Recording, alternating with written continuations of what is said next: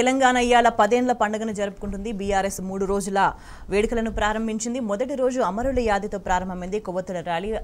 అశేష జనవాహిని తరలివచ్చింది అమరులకు నివాళి అర్పించింది. ఈ సందర్భంగా తెలంగాణ రాష్ట్రం ఏదో కాంగ్రెస్ పార్టీ దయాభిక్షతో వచ్చిందన్నట్టుగా చేస్తున్న వ్యాఖ్యలకు సంబంధించి తెలంగాణ సమాజం నుంచి సర్వత్రా నిరసన వ్యతిరేకత వ్యక్తమవుతుంది. అదేవిధంగా కాంగ్రెస్ పార్టీ తెలంగాణను ఏ విధంగా ఎటువంటి స్థితికి తీసుకొచ్చిందన్న దానికి సంబంధించి కూడా ప్రధానంగా చర్చ జరుగుతుంది. వాళ్ళు మాట్లాడదాం. మనతో పాటు చర్చలో జాయిన్ అవుతున్నారు బీఆర్ఎస్ నుంచి మన కృషాంగ్ గారు అదేవిధంగా అనలిస్ట్ జమీలుద్దీన్ గారు. గుడ్ మార్నింగ్ అండి. ముందుగా మీకు ఆవిర్భావ దినోత్సవ శుభాకాంక్షలు. జై తెలంగాణ. కృషాంగ్ గారు. కాంగ్రెస్ ప్రధానంగా మేము ఇచ్చినాము మేము ఇచ్చినాము అని చెప్తున్నారు. అంటే ఒకవైపు అమరుల అమరుల స్తూపాన్ని లోగోలో ఏదో లోగోలో కూడా ప్రధానంగా దాన్ని హైలైట్ చేసే ప్రయత్నం చేస్తుంది. కానీ నిజంగా అమరవీరులకి ఏం చేసింది అనే దానికి సంబంధించి చర్చ జరుగుతూ జరుగుతుంది. ఒకవైపు మేనిఫెస్టోలో అమరులని గౌరవించుకుంటాం ఇంకేదో చేస్తాం గుర్తింపు కార్డులు ఇస్తామని చెప్పేసి నిజంగా అధికారం వచ్చిన తర్వాత ఆరు నెలలకి ఆవిర్భావ దినోత్సవం వస్తుందని తెలుసు వేడుకలు జరుగుతారని తెలుసు. నిజంగా చే చేసే చిత్తశుద్ధి ఉంటే ఈ పాటికి దానికి సంబంధించి కార్యాచరణ ప్రారంభించి ఉండాల్సింది. కాంగ్రెస్ పార్టీ దయాభిక్షతో వచ్చింది అన్న విధంగా కాంగ్రెస్ నేతలు ప్రభుత్వం వ్యవహరించిన తీరుకు సంబంధించి మీరు ఏమంటారు ముందుగా తెలంగాణ రాష్ట్ర ప్రజలకు కూడా తెలంగాణ దశాబ్ది సంబరాలు ఉత్సవాలు తెలంగాణ దశాబ్ది ఏర్పాటు శుభాకాంక్షలు. స్వేచ్ఛ గారు ఇవాళ రాష్ట్రంలో ఉన్న ముఖ్యమంత్రి గారు రేవంత్ రెడ్డి గారు అంటే యాక్చువల్లీ మీరు అంటున్న క్వశ్చన్ కంటే నాకు వాస్తవానికి ఏంటంటే బాధతోని అంటే సంబరం రోజు తెలంగాణ రాష్ట్రం ఏర్పడ్డ రోజు వాస్తవానికి అందరికి సంబరమే. ఎందుకంటే ఎవరు ఊహించలేదు తెలంగాణ రాష్ట్రం వస్తుందని. అందరం డిఫరెంట్ డిఫరెంట్ ఫేజ్లలోకి వెళ్ళి ఒక్కొక్కళ్ళు ఎన్నో అనుభవించారు. మీ మీరు యాజ్ అ జర్నలిస్టు ఎవరు తెలంగాణ యజమానులు ఎవరు కూడా లేకుండే. అట్లాంటి ఛానల్స్లో కూడా పనిచేసిన వాళ్ళు ఉన్నారు. న్యాయవాదులు కోటేసుకొని కొట్లాడిన వాళ్ళు ఉన్నారు. విద్యార్థులు యూనివర్సిటీస్. మేము చదువుతున్న సిలబస్లో కూడా ఆ రోజు ఎక్కడ తెలంగాణ భాష కానివ్వండి తెలంగాణ యాస కానివ్వండి అది రాకుండా చాలా జాగ్రత్త పడ్డారు సిలబస్లో. మనం తినే ఆహారం కానివ్వండి ఒక సాంస్కృతిక విప్లవం ఒక రాజకీయ విప్లవం రకరకాల ప్రొఫెషన్స్లో ఉన్న వాళ్ళందరూ కూడా ఒక అజెండాలో. వచ్చి మనం తెలంగాణ రాష్ట్రం పోరా కొట్లాడినాము తెలంగాణ రాష్ట్రాన్ని సాధించుకున్నాం. అసలు ఏ ఘట్టంలో ఈ తెలంగాణ రాష్ట్రం మొదలైంది? ఈ ఈ పోరాటం ఇదంతా కూడా కేసీఆర్ గారి దీక్షతో మొదలైంది. దీన్ని ఇది హిస్టారికల్ ఫ్యాక్ట్ ఇది. దీన్ని గతంలో రేవంత్ రెడ్డి గారు ఒప్పుకున్నారు చిదంబరం గారు ఒప్పుకున్నారు పార్లమెంట్లో అందరికి కూడా తెలిసిన విషయం. కానీ అలాంటి దీక్షతోని మొదలుపెట్టిన కేసీఆర్ గారిని ఇవాళ మనం ఏం ఏ- ఏం గౌరవించుకుంటున్నాం? పది సంవత్సరాలు మీరు చూడండి ఈజ్ ఆల్రెడీ అన్ అచీవర్ అండి. ఎస్ తను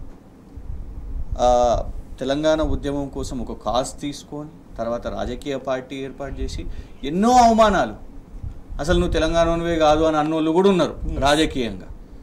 కొట్లాడిండు తెలంగాణ రాష్ట్రాన్ని సాధించిండు చెప్పిండు. నేను సావనన్నది వస్తా కానీ తెలంగాణ వచ్చిన తర్వాతనే నేను మళ్ళీ వస్తా అని చెప్పి ఢిల్లీకి బయలుదేరారు తెలంగాణ రాష్ట్రంలోనే మళ్ళీ తెలంగాణను తీసుకొని వచ్చారు వచ్చిన తర్వాత అప్పటి వరకు ఎవ్వరు కూడా లేఖలు ఇచ్చిన వాళ్ళు కాదు. మీరు చూసిర్రు గతంలో బీజేపీ అద్వానీ గారు. ఆయన డిప్యూటీ ప్రైమ్ మినిస్టర్గా హోమ్ మినిస్టర్గా ఉన్నప్పుడు వాళ్ళకు టీడీపీ వాళ్ళతో పొత్తుండే కాబట్టి అప్పుడు ఇవ్వగలుగుతుండే వాళ్ళు. వాళ్ళ నినాదం కూడా ఉండే కదా. ఒక ఓటు రెండు రాష్ట్రాలు అని వాళ్ళు. చెప్పిన వాళ్ళు కానీ వాళ్ళు వెనుకడిగేసారు నినాదం కాదు తీర్మానం చేసి వాళ్ళు తీర్మానం కూడా చేశారు. కానీ అఫీషియల్గా మళ్ళీ లెటర్ కూడా రిలీజ్ చేసారు వాళ్ళు బ్యాక్ ట్రాక్ అయ్యారు కాంగ్రెస్ వాళ్ళు బ్యాక్ ట్రాక్ అయ్యారు కామన్ మినిమం ప్రోగ్రామ్ అసలు రెండు వేల నాలుగులోనే అవుతుండే అందుకే కదా రేవంత్ రెడ్డి గారు బలిదేవత అని అన్నారు కదా సోనియా గాంధీ గారిని. ఎస్ అట్లాంటి ఎంతోమంది యూటర్న్లు తీసుకున్నా కూడా కేసీఆర్ గారు ఏనాడు యూటర్న్ తీసుకోలేదు. రాష్ట్రం ఏర్పడ్డది. రాష్ట్రం ఏర్పడ్డ తర్వాత సర్టిఫికేట్ ఈ దేశము ప్రపంచ స్థాయి ఇచ్చిందండి. ఇది తెలంగాణ రాష్ట్రం నుంచి మొదలుపెట్టిన పథకం. ఒక ఇతర రాష్ట్ర ముఖ్యమంత్రులు ఇక్కడికి వచ్చినప్పుడు వాళ్ళు కదా కితాబ్ ఇచ్చింది. ఈ రోజు పార్లమెంట్లో మాట్లాడుతుంటే పార్లమెంట్లో గజేంద్ర సింగ్ షేకావత్ గారు లేచి నిలబడి మిషన్ భగీరథ గురించి గొప్పగా మాట్లాడినప్పుడు ఆ రోజు మనం మర్చిపోతున్నామా? అరవింద్ కేజ్రీవాల్ అనే ఒక రాష్ట్ర ముఖ్యమంత్రి తెలంగాణలో కంటి వెలుగు అనే కార్యక్రమం మొదలైంది చాలా బాగుంది అని అన్నప్పుడు అది కదా మన కితాబు. మమతా బెనర్జీ గారు మనం మొదలుపెట్టిన రైతు బంధుని అక్కడ ఆమె కృషక్ బంధు అని చేయడం అది కదా మన గొప్పతనం. మీరు మా కార్మికులను చాలా గొప్పగా చూసుకుంటున్నారు అని ఒక నితీష్ కుమార్ ఇంకెక్కువ సీనియర్ ముఖ్యమంత్రి ఆయనే కానీ బీహార్ చీఫ్ మినిస్టర్. వారు కేసీఆర్ గారిని ఎట్లా ఇంత డెవలప్మెంట్ చేస్తున్నారండి? మా వాళ్ళు ఇక్కడికి వచ్చి మాట్లాడుతున్నారు అని అన్నారు కదా. దట్ ఈస్ ద సర్టిఫికేట్ మనము మనము మనము మనము ఇవాళ ఏం గౌరవించుకుంటున్నాం? మ్మ్. నేను ఆ పత్రిక కనిపిస్తలేదు. మ్మ్. రాష్ట్ర ముఖ్యమంత్రి రేవంత్ రెడ్డి గారు వయసులో తక్కువ ఉద్యమం ఎంత చేసిరో ఉద్యమం జైలుకు పోయినరు కేసీఆర్ గారు లాగా నాకు తెలియదు కానీ కేసీఆర్ గారిని పాకిస్తానీ అనాలనా? గత సంవత్సరము ప్రభుత్వంలో ఉన్నప్పుడు పది రోజులు తెలంగాణ ఆవిర్భావ వేడుకలు మనం చేసుకున్నాం. కాంగ్రెస్ పార్టీ తొమ్మిది సంవత్సరాల్లో చేసుకోలేదు. ఎవరు ఆపారు మిమ్మల్ని? సోనియమ్మను మీరు పోయి సన్మానం చేసుకోవడానికి?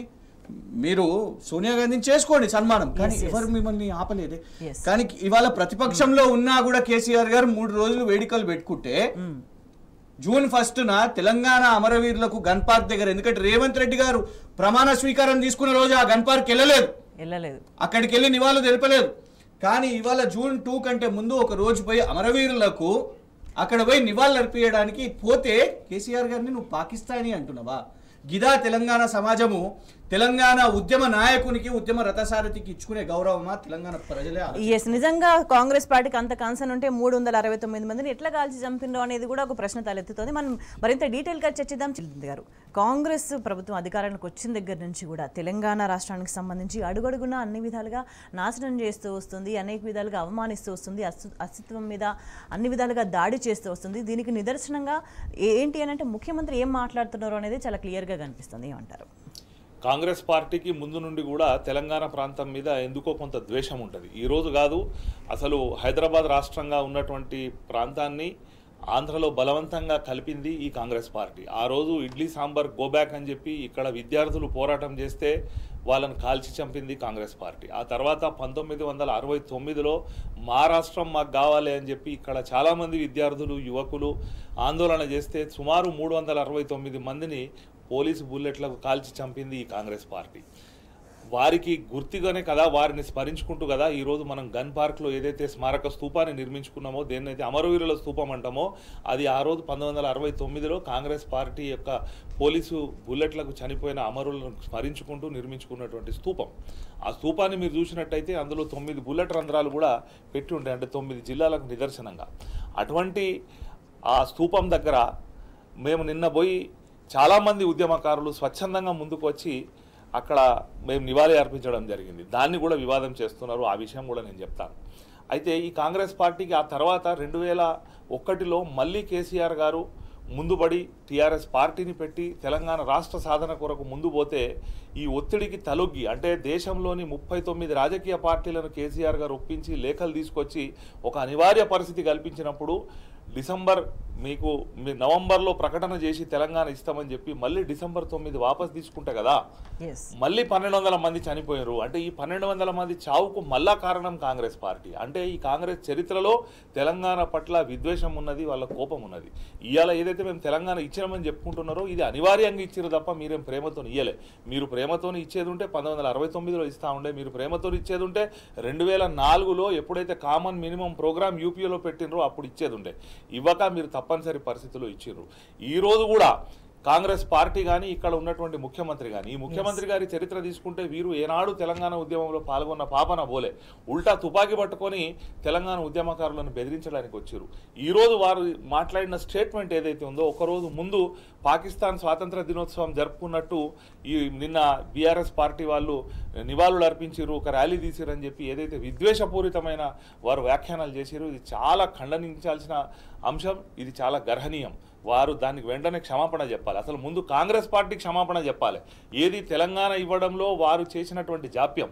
దానికంటే ముందు తెలంగాణను ఆంధ్రలో కల్పి కలిపి చేసిన తప్పుకు కాంగ్రెస్ పార్టీ క్షమాపణ చెప్తే కానీ వారికి దశాబ్ది ఉత్సవాలు జరుపుకునే హక్కు లేదు వాళ్ళకి ఆ నైతిక హక్కు లేదు. కాబట్టి ముందు కాంగ్రెస్ పార్టీ క్షమాపణ చెప్పాలి. నిన్న ఈ పాకిస్తాన్ వ్యాఖ్యలు చేసినందుకు కూడా ముఖ్యమంత్రి రేవంత్ రెడ్డి గారికి క్షమాపణ చెప్పాలి. వీరికి ఏం తెలుసండి? ఆ భావోద్వేగపరమైన అనుబంధం. ఏదైతే మేము అమరవీరుల పట్ల ఉన్నదో తెలంగాణ రాష్ట్రం పట్ల ఉన్నదో ఆ తెలంగాణ ఉద్యమంలో పాల్గొన్న వాళ్ళకి తెలుస్తుంది. ఈ రోజు జరుపుకోలే ఒక రోజు ముందస్తు వేడుకలు. మీరు రెండు వేల పద్నాలుగు జూన్ ఒకటి మీ దగ్గర విజువల్స్ ఉంటే పత్రికలు ఉంటే తీయండి. ఆ రోజు రాత్రంతా జాగారం చేసి మేమందరం కూడా ఎప్పుడు తెల్లారుతుంది ఎప్పుడు జూన్ రెండు అయితే మా తెలంగాణ రాష్ట్రం మాకు సాకారం అవుతుందని చెప్పి ఆ రోజు ఎదురు చూసిన ఉద్యమకారులు ఉన్నారు కాబట్టి సేమ్ అదే ఇవాళ పది సంవత్సరాలు జరిగిపోయింది. ఇవాళ తెలంగాణ దేశంలోనే నంబర్ వన్ రాష్ట్రంగా మా ఉద్యమ నాయకులు కేసీఆర్ గారు చేతిలో పెడితే నంబర్ వన్ రాష్ట్రంగా తీర్చిదిద్ది రేవంత్ రెడ్డి గారి చేతిలో పెడితే మళ్ళీ దీన్ని నాశనం పట్టిస్తున్నాడు అని చెప్పి ఒక ఆలోచన ఉన్నది. ఆ రోజు అమరులను స్మరించుకుంటూ నిన్న పోయి అక్కడ నివాళులు అర్పించడం జరిగింది. వీరి ముఖ్యమంత్రి కూడా గతంలో మనం చూసినట్టయితే ఛత్తీస్గఢ్ ముఖ్యమంత్రి గారు కాంగ్రెస్ పార్టీ. ముఖ్యమంత్రి గారు కూడా వారు మూడు రోజులు వేడుక జరిపారు. అంటే రాష్ట్ర ఆవిర్భావ దినోత్సవానికి ఒక రోజు ముందు ఆవిర్భావం జరిగిన రోజు తెల్లారి. అంటే మరి వారిని కూడా వీరు పాకిస్తానీ అని అంటారా? అసలు పాకిస్తాన్కు స్వాతంత్రం వాళ్ళకు ఒక రోజు ముందు వచ్చింది కాబట్టి వాళ్ళు జరుపుకుంటారు. అంటే మాట్లాడేటప్పుడు కనీస ఇంగితం లేకుండా తను ఏ కుర్చీ మీద ఉన్నా అన్న హోదా ఆ గౌరవాన్ని కూడా కాలరాసే విధంగా వారు మాట్లాడడం అనేది చాలా బాధాకరం. దాంతోపాటు వీరికి పూర్తి ఆశ ఉంది ఉన్నది. రేపు ఆంధ్రలో వీరి గురువు గారైన చంద్రబాబు నాయుడు గారు అక్కడ ముఖ్యమంత్రి అయితే వీరు ఎంతకైనా తెగిస్తారు. ఈరోజు తెలంగాణ ఏదైతే అస్తిత్వానికి ప్రతీకలైనటువంటి చార్మినార్ కానీ కాకతీయ కళాతోరణం కానీ వాటిని తొలగించాలన్న ప్ర- ప్రయత్నం జరుగుతూ ఉన్నదో ఇది తెలంగాణ. అస్తిత్వాన్ని దెబ్బతీసి తెలంగాణ చరిత్రను మలిపేసే ప్రయత్నం జరుగుతూ ఉన్నది. ఎందుకంటే జీవితంలో జై తెలంగాణ అనని వ్యక్తి ఈరోజు తెలంగాణ ముఖ్యమంత్రిగా కావడం ఈ తెలంగాణ ప్రజలు చేసుకున్న దురదృష్టం అని చెప్పి నేను అనుకుంటా ఉన్నా. అటువంటి వ్యక్తి ముఖ్యమంత్రిగా తెలంగాణను వ్యతిరేకించి నిన్న ఆ లోగో గురించి మీటింగ్ పెడితే కూడా ఆయనే ఎంత విచిత్రంగా అనిపిస్తుంది అని అంటే తెలంగాణ ఉద్యమంలో పాల్గొన్నటువంటి బీఆర్ఎస్ పార్టీకి ఆ ఆల్ పార్టీ మీటింగ్లో ఆహ్వానం ఉండదు. సిపిఐ సిపిఎం సిపిఎం వ్యతిరేకించింది కదా తెలంగాణ రాష్ట్రాన్ని. వాళ్ళని పిలుస్తారు. పిలిచి మీటింగ్ పెట్టి ఆ లోగోలో అసలు కాకతీయ కళాతోరణం ఉండాలనా లేదా చార్మినార్ ఉండాలనా లేదా అని చర్చ చేస్తారు. అంటే తెలంగాణ ఉద్దేశపూర్వకంగా పదే పదే విద్వేషపూరితంగా అవమానకరంగా మాట్లాడితే ఉద్యమ స్ఫూర్తి పోతుందా తెలంగాణది? వంద శాతం వాళ్ళు అమానం అది అనుకుంటున్నాడు. అంటే మలిపేస్తే చరిత్ర పోతుంది అని అనుకుంటున్నాడు. మలిపేస్తే కాంగ్రెస్ చరిత్ర పోదు. తెలంగాణకు కాంగ్రెస్ చేసిన అన్యాయం పోదు. మలిపేస్తే కేసీఆర్ గారు తెలంగాణ రాష్ట్ర సాధన కోసం చేసిన కృషి పోదు. ఈ తెలంగాణ రాష్ట్రాన్ని సాధించడం కొరకు జస్ట్ కాంగ్రెస్ పార్టీ దగాతోని అమరులైనటువంటి అమరత్వం కూడా మాసిపోదు ప్రజలు మర్చిపోరు ప్రజల జ్ఞాపక శక్తి తక్కువ ఉంటుంది అనుకుంటారు కానీ ప్రజలకు అన్నీ కూడా గుర్తున్నాయి వీళ్ళ పాత్ర గుర్తున్నది. కాంగ్రెస్ పార్టీ ఎంత సతాయించింది ఎంత ఇబ్బంది పెట్టింది ఎంతమంది ఉద్యమకారుల మీద కేసులు పెట్టింది ఎంతమంది ఉద్యమకారుల చావు కారణమైంది. అసలు తెలంగాణను ఒక సుభిక్షంగా ఉన్నటువంటి ప్రాంతాన్ని వెనుక బడేయడంలో ఈ కాంగ్రెస్ పార్టీ పాత్ర ఏదైతే ఉందో అది ఎవ్వరు కూడా మర్చిపోలేరు. వీరేదో మల్పేస్తా అనుకుంటున్నారు.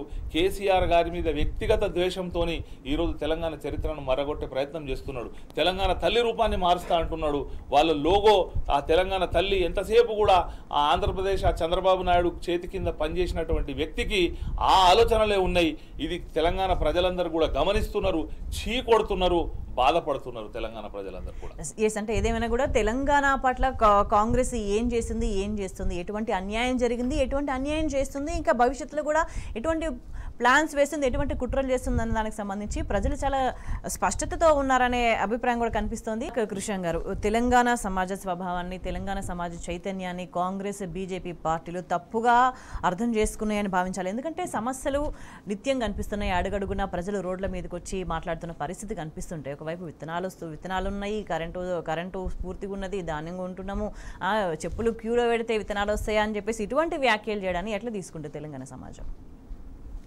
అసలు ఫస్ట్ ఆఫ్ ఆల్ ఇది అజెండా అయింది అనుకుంటుర్రా మీరు? మొన్న జరిగిన పార్లమెంట్ ఎలక్షన్స్లో అంటే విత్ ఆల్ డ్యూ రెస్పెక్ట్ అన్న మైనారిటీలకు రిజర్వేషన్ ఖచ్చితంగా అవసరము. అది కేసీఆర్ గారు కూడా ఫైట్ చేసిండ్రు కేంద్రాన్ని అడిగింది కానీ వీళ్ళు చాలా క్లెవర్గా ఏంటంటే దాన్ని కేవలం ఎలక్షన్ అజెండాగానే మార్చారు అంటే ఎలక్షన్లో పోలరైజ్ చేసుకోవాలి మతాల మధ్యలో విద్వేషాలు రావాలి దీన్ని ఒక ఓట్ బ్యాంక్ రాజకీయాలు చేయాలి.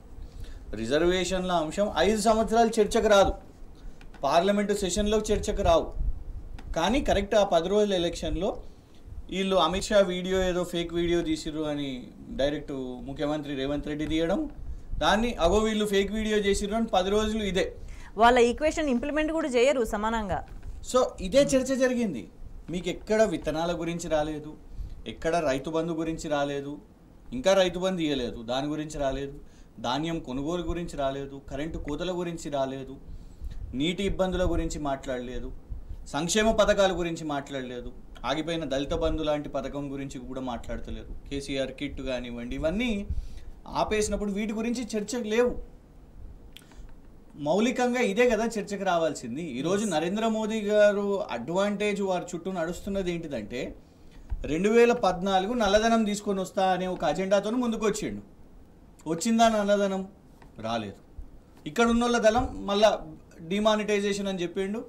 పొదుపులు చేసుకున్న వాళ్ళు వాళ్ళు వీళ్ళు అందరు పోయి బ్యాంకులలో పెట్టిండ్రు. సేమ్ ఆ నల్లధనం మళ్ళీ వచ్చింది. అసలు. విషయాలు మాట్లాడకుండా పక్కద ప- ప- పక్కదోవ పట్టించే ప్రయత్నాలు జరుగుతున్నాయని రెండు వేల పద్దెనిమిది. Article three seventy article three seventy Kashmir అంశం. నీకు సపోర్ట్ కావాలి అని అన్నావు. సపోర్ట్ చేసే వాళ్ళు సపోర్ట్ చేసిర్రు అపోజ్ చేసే వాళ్ళు అపోజ్ చేసిర్రు ఆర్టికల్ త్రీ సెవెంటీ అయింది దాంతో కాశ్మీర్కు ఒరిగింది లేదు. జరిగిందా? పాకిస్తాన్ పిఓకే నుంచి ఒక్క అడగన్నా మనకు వచ్చిందా? ఒక్క అడగన్నా. ఉన్న అరుణాచల్ ప్రదేశ్ని అటు చైనా తీసుకుంటుంటే దాని గురించి నువ్వు మాట్లాడు. కానీ దాన్ని ఒక అజెండాగా పెట్టినావు ఎలక్షన్స్.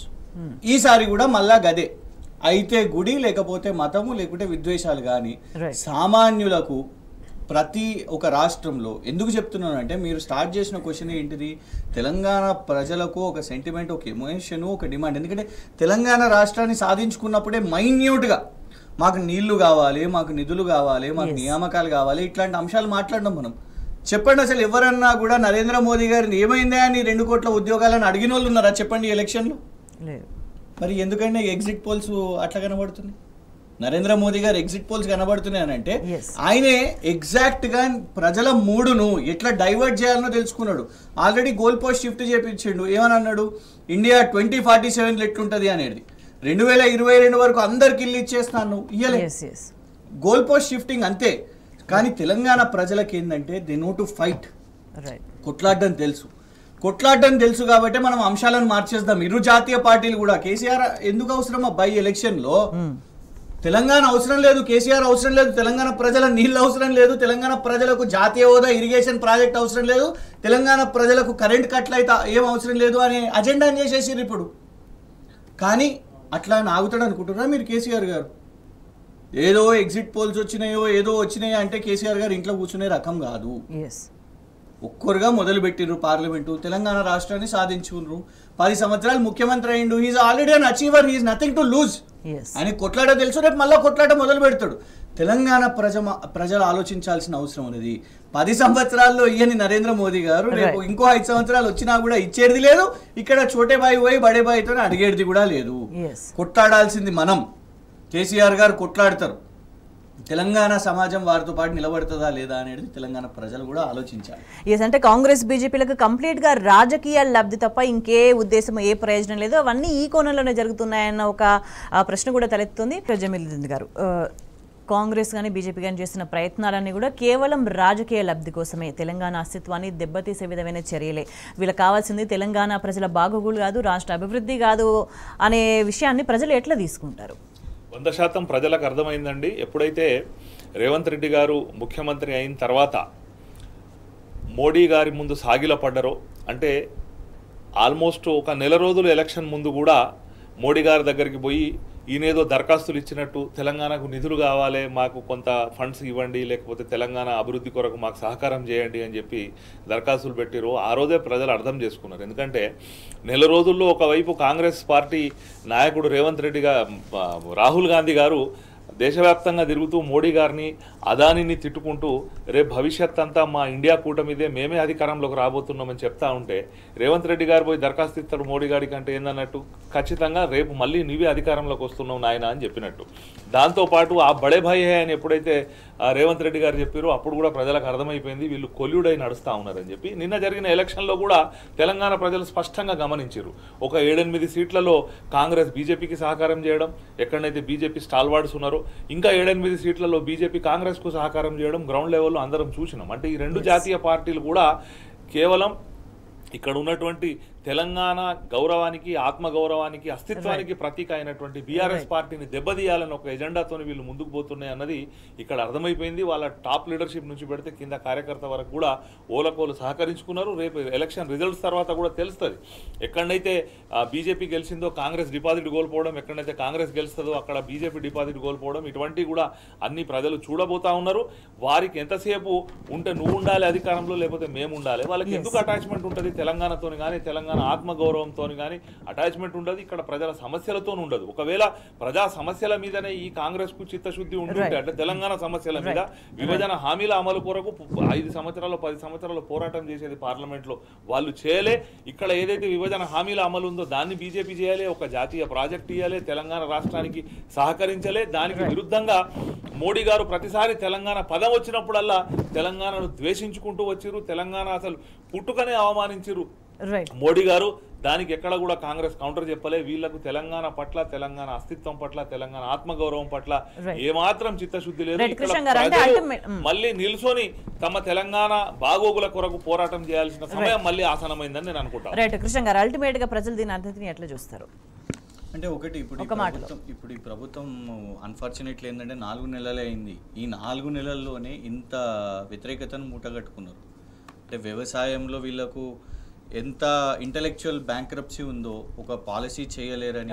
అండ్ కేసీఆర్ గారు సృష్టించిన అన్నిటినీ కూడా. పథకాలు కానివ్వండి నిర్మాణాలు కానివ్వండి. ఇవన్నిటినీ కూడా అంబేద్కర్ గారి విగ్రహానికి దండే ఇవ్వకపోవడం నుంచి మొదలు పెట్టుకుంటే కేసీఆర్ గారు మొదలు పెట్టిన రైతు బంధుకు పూర్తిగా డబ్బులు ఇవ్వకపోవడం ఇవన్నీ కూడా తెలంగాణ రాష్ట్రానికి ఇబ్బందులు తెస్తాయి. కాంగ్రెస్ పార్టీ ఏం కలుస్తుందా గంగల కలుస్తుందా మనకు తెలియదు కానీ రాష్ట్రం మంచిగా పది సంవత్సరాలు ముందుగా పోతున్నప్పుడు దేశానికే ఆదర్శం అవుతున్నప్పుడు మళ్ళా వెనక్కి పోవడం చాలా ఇవన్నీ కూడా ఇవన్నీ కూడా అల్టిమేట్గా ఉనికిని అస్తిత్వాన్ని దెబ్బతీస్తాయి. ఏదేమైనా కూడా ఇటువంటి ప్రయత్నాలు ప్రతి ప్రయత్నానికి కాంగ్రెస్ కానీ బీజేపీ కానీ మూల్యం చెల్లించుకోక తప్పదన్న అభిప్రాయం వ్యక్తమవుతుంది. జై తెలంగాణ అనేది ఒక కేవలం నినాదం మాత్రమే కాదు అది తెలంగాణ ప్రజల ఆత్మగౌరవం అనే అభిప్రాయం వ్యక్తమవుతుంది. చర్చలో పాల్గొన్న కృష్ణ గారికి జమలదున్ గారికి ధన్యవాదాలు. That's all for no state